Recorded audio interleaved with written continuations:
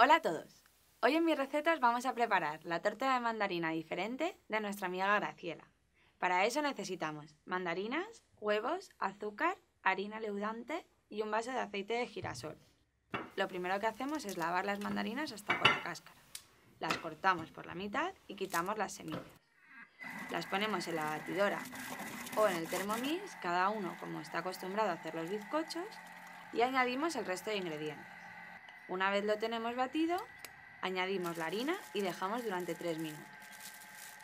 Preparamos el molde con manteca o mantequilla y papel vegetal o papel de hornear. Cuando lo tenemos listo, colocamos la mezcla sobre el molde ya preparado. Cocinamos unos 50 minutos en modo pastel o bizcocho. Y antes de sacarlo del horno, no os olvidéis de hacer la prueba del palillo. Clavamos el palillo, si nos sale manchado, volvemos a meterlo en el horno. Si nos sale seco, es el momento de disfrutar de un bizcocho casero perfecto.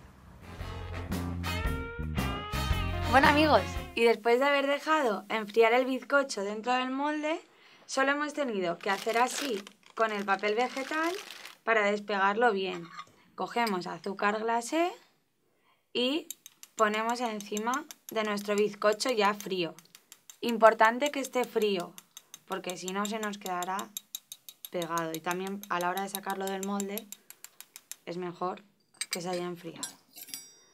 Y nada, cortamos un pedacito para que veáis cómo se nos ha quedado de bueno y esponjoso.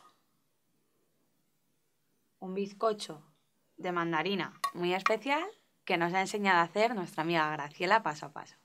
Hasta la próxima receta, amigos.